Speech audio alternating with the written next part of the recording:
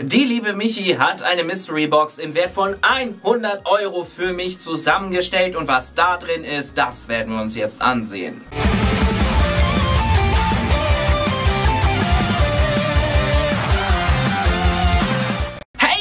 Was geht ab meine Zuschauer und willkommen zu einem neuen TCG Opening auf diesem Kanal. Wir switchen mal noch nicht die Perspektive, denn diese Mystery Box ist viel zu groß, als dass ich sie adäquat unten in die Card Cam reinkriegen würde. Ähm, kleiner Disclaimer vorher, bevor ich sie aufmache, da sind auch noch zwei, drei Sachen drin, die nicht zur Mystery Box äh, gehören, aber äh, ja, das werden wir gleich dann im Detail feststellen. Der Karton ist auf. Wir haben hier als erstes Füllmaterial. Dann haben wir weiteres Füllmaterial. Jetzt wird's spannend, Leute. Hier ist ein kleinerer Karton drin. Den versuche ich mal da irgendwie raus zu operieren. Ein paar verzweifelte Versuche später haben wir hier die tatsächliche echte Mystery Box. Die packe ich mal hier unten schon mal hin. Aber wir gucken uns erstmal an, was noch da drin ist. Dafür switchen wir die Perspektive. Hier haben wir erstmal Tobis Bestellung. Was könnte denn das sein? Ich weiß, was es ist, aber ich mache das trotzdem nochmal auf. Wir haben hier... Uh, wir haben hier ein 18er Display von Silberne Sturmwinde und das Besondere daran ist, für, also für euch war der Livestream ja schon, schaut ihn euch gerne an, ich werde ihn euch oben auf dem i verlinken. Ähm, aber mit diesem 18er Display, das ich von der guten Michi noch bekommen habe, erhöhen wir auf über 120 Booster. Dann haben wir hier noch ein paar Einzelkarten, die ich bei der guten Michi erworben habe. Die werde ich euch jetzt, klar, ist Bailey sofort im Karton drin, also ignoriert die Kratzgeräusche im Hintergrund. Hier haben wir noch ein paar Einzelkarten unter anderem für meine äh, Gym Heroes Gym Challenge Sammlung. Einfach ein Dragoran, was ich wirklich sehr, sehr schön fand. Und ein süßes Stratini aus Neo Destiny. Die packe ich mal hier rüber. Jetzt wollen wir uns mal um die tatsächliche Mystery Box kümmern. Wir gucken einfach mal, was da drin ist. Ich habe nämlich absolut keine Ahnung. Ich weiß, dass Michi gute Mystery Boxen macht. Ich, wir haben schon einige davon gehabt. Und ähm, es wird auch ganz bestimmt nicht die letzte sein. So, das ist, ist mal klar. So, Füllmaterial. das kann man immer gebrauchen. Also Bailey kann es immer gebrauchen. das ist ja... Wir haben hier ein 18er Display Gewalten der Zeiten. Das ist geil. Da hatte ich noch einiges draus.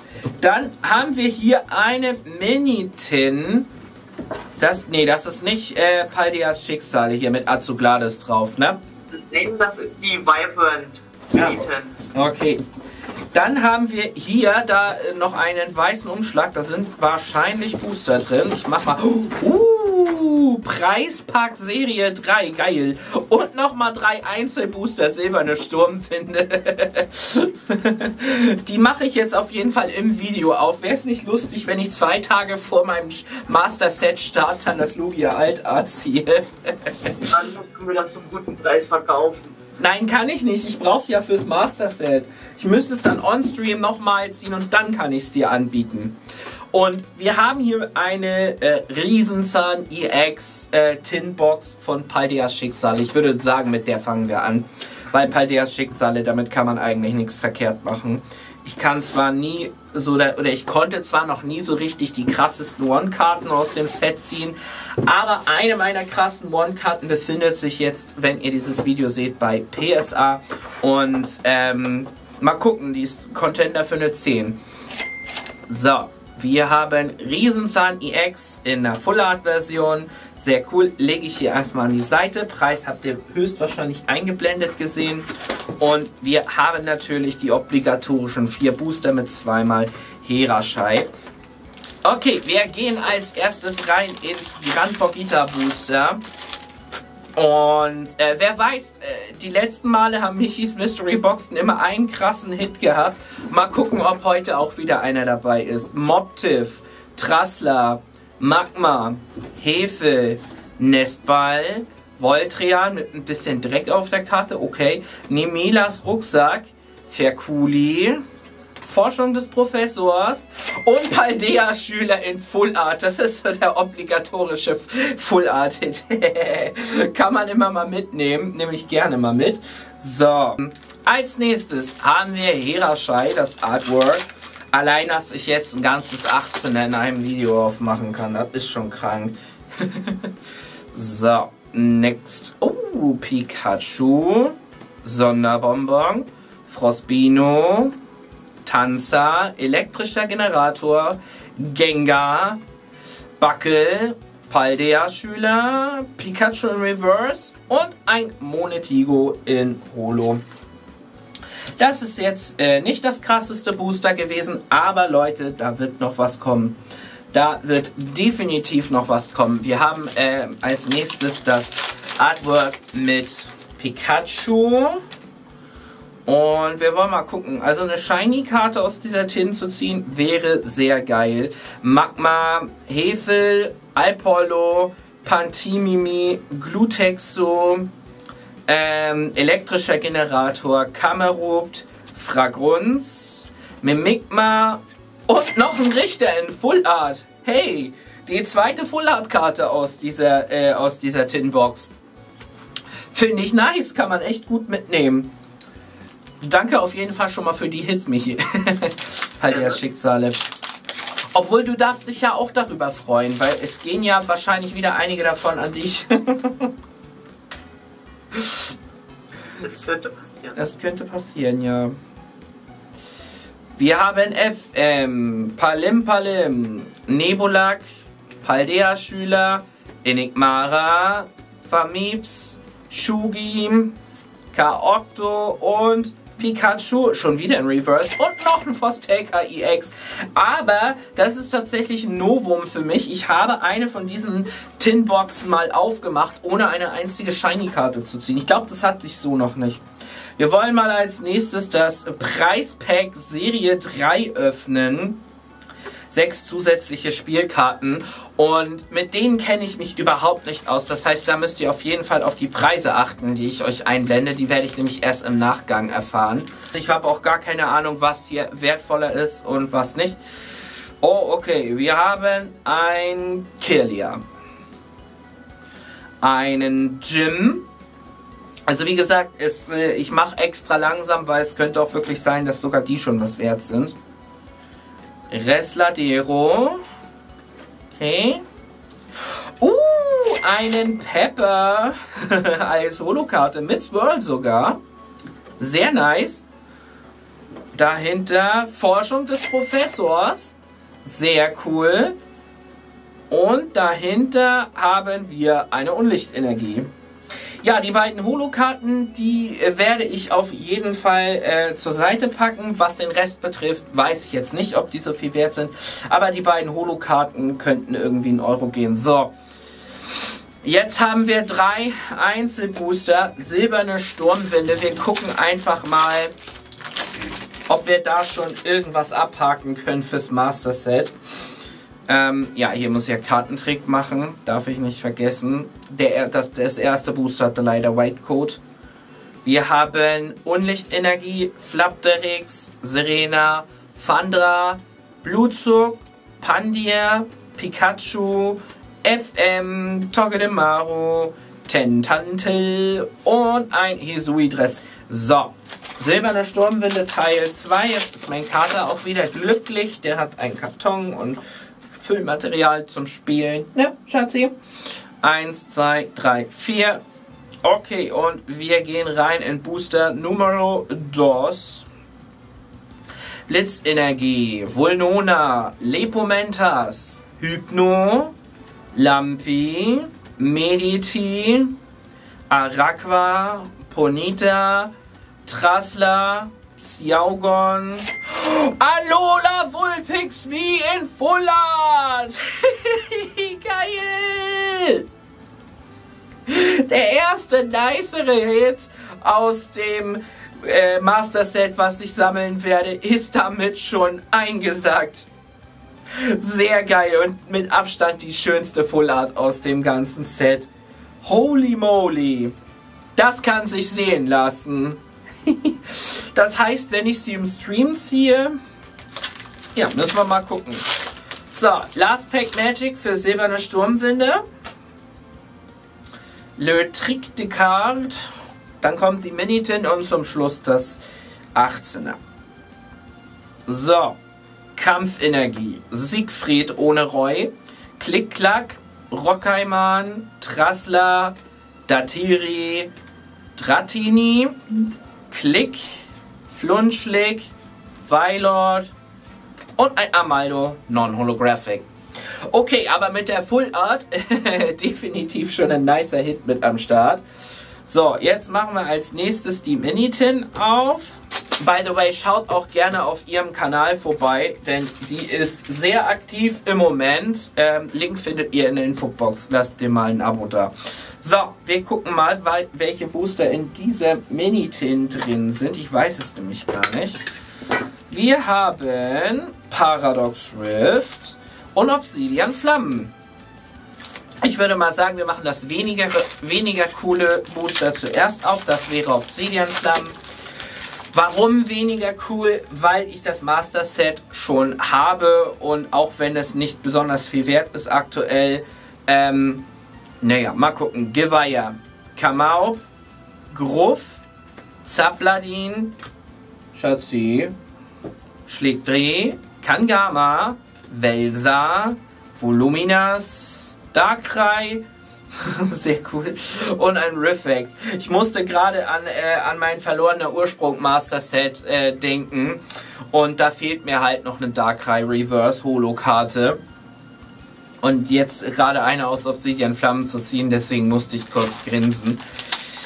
Halt, das ist, die ist leider die falsche, die bringt mir dann in dem Sinne nichts.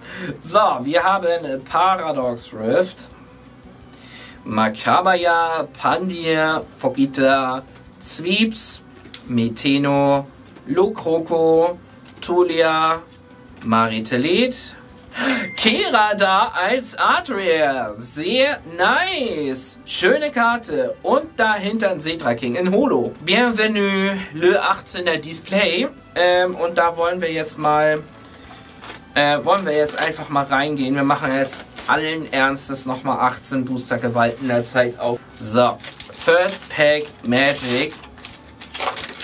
Gehen einfach mal rein. Das sieht aus hier. Es ist unglaublich. So, First Pack Magic. Bronzel, Magnaien, Mythodos, Alpollo, Roserade, Keldeo, Eisenhals, Monte Carlo, Stalobor.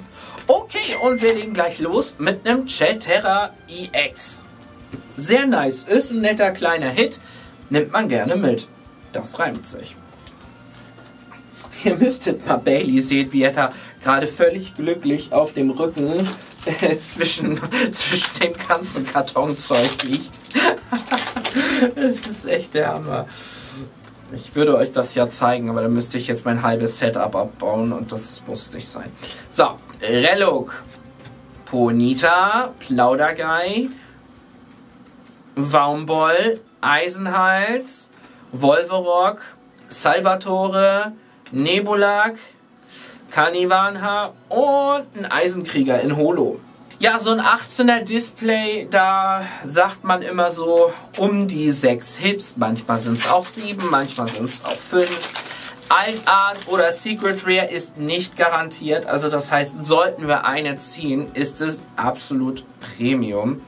Wir haben Pikachu, Pygraulon, Nebulak, Thermopod, Moruda Bruder, Ele Voltec, Chillabel, Bronzong, Scarabax und Koraidon. Next Pack Magic. Wir haben Windevogel. Eine Karte, die sich äh, für euch, wenn ihr dieses Video seht, auch jetzt gerade bei PSA befindet. Und es wäre schon geil, eine 9 oder eine 10 zu bekommen. Wir werden es im Endeffekt ja sehen. Carnivanha, Rettan, Chillast, Pfiffchen, Definator, Brüllschweif, schweres Staffelholz, Relok, Windewoge EX in Gold! Nice! Oh mein Gott, ist die cool. Ja, lange keine Gold-Pokémon-Karte mehr gezogen. Wirklich sehr lange. Wir haben den Secret Rare Hit rausgekriegt. Und dahinter haben wir noch einen Dummi-Miesel. die wird gegradet. Ob von Platin Grading oder ob ich die irgendwann mit zur PSA schicke, keine Ahnung. Aber das, äh, die wird auf jeden Fall gegradet. So. Okay, und wir haben das nächste Booster. Meryl, Golbert, Dumimiese, Snom, Zubiris, Riesenzahn, Tangolist, Fosdecker, Mortineva und ein Eisendorn in Holo. Es waren zwar bisher nur zwei Hits, aber ich würde auf jeden Fall sagen, dass sich das 18er Display schon gelohnt hat. Ähm, kann man einfach nicht anders sagen. Und nicht wundern, wenn ich so ein ganz klein bisschen rushe. Das Video muss jetzt nicht unbedingt 40 Minuten gehen.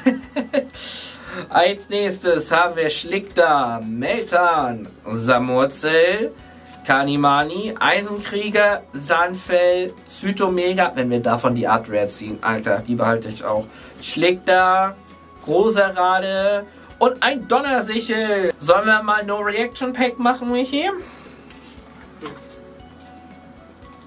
Ja? Ja. Gut, machen wir. Wir machen auch auf jeden Fall gleich nochmal ein Ihr seht es zuerst Pack, aber eins zur Zeit. So. No Reaction Pack. Pampuli, Picochilla, Flamiau, Wuffels, Jens Überzeugung, Bells Hingabe, Zytomega, Eisenkrieger Reverse, Flunkiefer Reverse und Impagator in Holo. Gut, okay. da jetzt nicht zu reagieren, das war nicht so schwer. Aber ja, wir gehen weiter rein. Next Pack Magic. Okay, und Sesokids, Doselgur, Tanzer, Flunkiefer, Nebelschleier Energie, Kroniowild, Cypher Maniacs, Dekodierung, Sesokids Reverse, Keldeo und Furienblitz EX. Nice! Sehr, sehr schön. Ich bin nach wie vor kein Freund dieser Raikou-Version. Aber äh, die ist definitiv auch nice to have, weil sie ganz gut spielbar ist. Ist vielleicht sogar noch 1, 2 Euro wert. Ihr werdet es eingeblendet gesehen haben. Puh, jetzt wird es aber warm hier drin langsam. Next Pack. Wir haben auch keine Ace Packs gezogen. Knilz, Schlurp, Schneckmark, Monozyto, Führung des Entdeckers. Latias, Grüße an Sophie an dieser Stelle. Energiekapsel, Torheido, Horrorbar und Mekago. So, wir haben als nächstes hier wieder ähm, das Furienblitz Artwork. Ich habe bisher auch überhaupt nicht auf die, äh, auf die Artworks geachtet. Aber ja.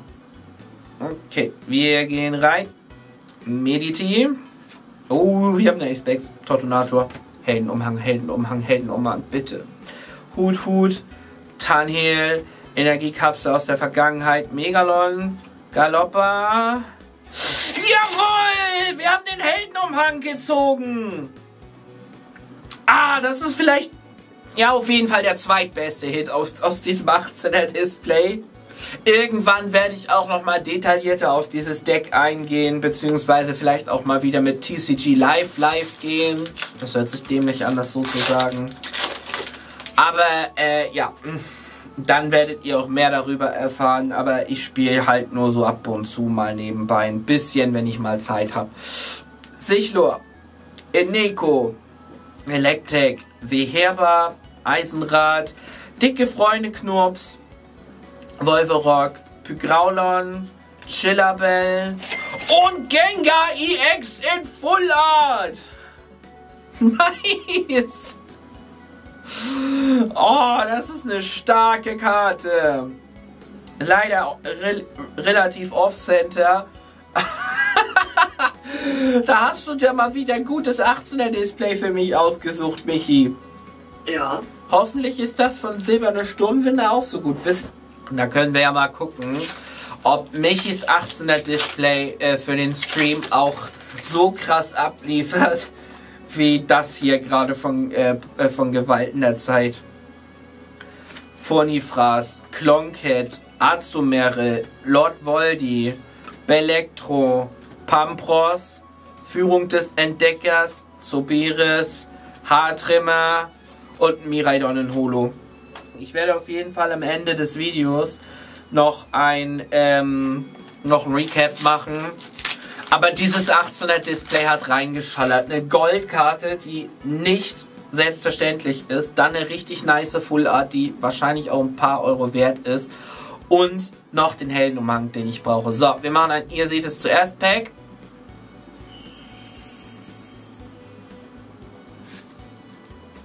So. Ich hoffe, ihr konntet was sehen, falls es was zu sehen gab. Girafarik, Wommel, Roselia, Rotomorph, Enekoro, Energiekapsel der Zukunft, Eisenhand, Methodos, Seso Kids als Adria. Ja, nice. Da haben wir neulich schon die Kronjuwel-Karte gezogen. Jetzt noch das Seso Kids dazu. Und ein Koraidon in Holo. Wir haben eine normale EX-Karte gezogen. Alles andere war besser. Und ich gehe am Ende sogar mit zwei, vielleicht auch drei Karten für die Sammlung raus. Weil so äh, Windewoge Gold werde ich auf jeden Fall behalten und den Heldenumhang werde ich auf jeden Fall behalten. Vielleicht noch das Gengar, mal gucken. Mabula, Meditales, Navitaub, Pantimos, Monte Carlo, Gefährlicher Dschungel, Fasersnob, Impergator, Eisenheiz und noch ein Shenlong in Holo. Das ist ja, das wird ja 8000 Grad da unter. Bei den Temperaturen hier im Studio noch eine Mütze anzuhaben, das ist nicht unbedingt die allerklügste Entscheidung. Aber es kommt auch wieder Winter, wo ich hier mit äh, Jogginghose, Pullover und Mütze sitze und es trotzdem recht kühl ist. Reluk, Ponita, Plauderguy, Waumboll, schweres Staffelholz, Nebelschleierenergie, Sandfell, Bundlebee, Sandfell und Keilflamme EX. Jetzt haben wir das Trio komplett. Wir haben Windevogel, Keilflamme und Furienblitz in diesem, äh, in diesem Opening gezogen. So, wir haben die letzten drei Booster. Wir wollen es nochmal wissen. Wir machen nochmal ein, ihr seht es zuerst Pack. Das hat ja eben auch so gut geklappt. Und zack, zack, zack. Mal gucken. Also es ist definitiv ein überdurchschnittliches 18er Display für mich. Raichu, Victini, Bronze, Pampuli, Rioba, Infernopod, Dicke Freunde Knurps, Energiekapsel aus der Zukunft, Energiekapsel aus der Vergangenheit passt ja dazu und Miraidon. Wir haben coole Hits gezogen, ich bin mega zufrieden. Im Prinzip muss jetzt absolut nichts mehr kommen. Full Art, Acebags, zwei EX und eine Goldkarte aus dem 18er Display. Und ja, eine Rare auch noch. Das ist absolut ausreichend. Wir haben Carnivana, Rettern, Chillast, Schlickter, Megalon, mm, Galoppa, Belektro, Voldi, Seraora und ein Farigiraf EX in der Terra-Version. Nochmal on top obendrauf. Ja, moin. Ah, es reicht, liebes 18 Display. Ich habe zwar noch Last Pack Magic jetzt hier, aber da muss absolut nichts mehr drin sein. Recap machen wir gleich noch. So. Nebulak, Meryl, Golbit, Domiesel, Eisenrad, verpackte Bestellung, Bundlebee, Metagross, dicke Freunde Knurps und ein Elfhund. Ja, Farigiraf, Keilflamme, Seso-Kids, Gengar, Heldenumhang, Furienblitz, Windewoge Gold, mein absoluter Favorit, Chetera, Kirada Rare, Alola Vulpix, wie die beiden Holos aus den Preispacks, Fostelka EX und zwei Full Arts aus Paldeas Schicksale. Das kann sich absolut sehen lassen. Ich bin super zufrieden. Ein riesen, riesengroßes Dankeschön an Michi. Gerne. Und wenn es euch gefallen hat, gebt gerne einen Daumen hoch, abonniert den Kanal für mehr kostenlosen Pokémon-Content. Schaut auch gerne bei Michi vorbei. Wir sehen uns. Bis dann. Ciao.